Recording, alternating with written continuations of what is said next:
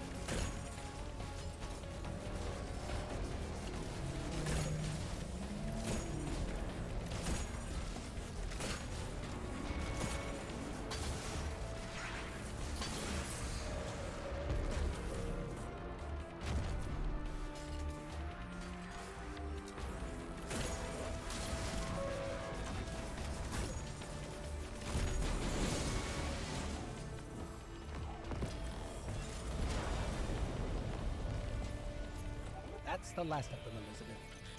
Good riddance, evil bastards. Until next time.